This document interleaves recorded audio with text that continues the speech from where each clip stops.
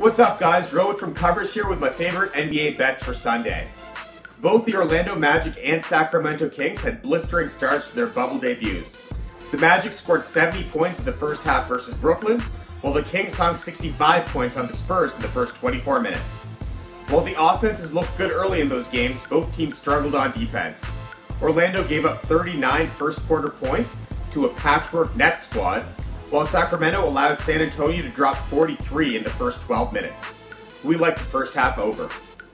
Milwaukee and Houston were already great at drawing fouls and getting to the line, but they were even better in their first games back from the COVID shutdown. The Bucks drew 28 personal fouls and went to the line 34 times in their win over Boston, knocking down 28 of those freebies, while the Rockets went 30 for 39 from the charity stripe against the Mavs. Sunday's game could see a ton of points scored with the clock stopped, and when you throw in Houston's heat from downtown, you've gotta like the over.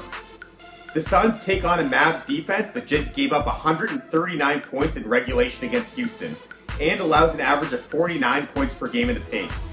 The last time Phoenix center DeAndre Ayton played Dallas, he scored 31 points and yanked down 9 boards. Ayton began the bubble with a strong performance as well, posting 24 points and 12 rebounds against the Wizards. Bet on another big game from the big man. Best of luck in all your NBA bets, and for more NBA betting analysis, check out our website at covers.com and give us a follow on Twitter at Covers.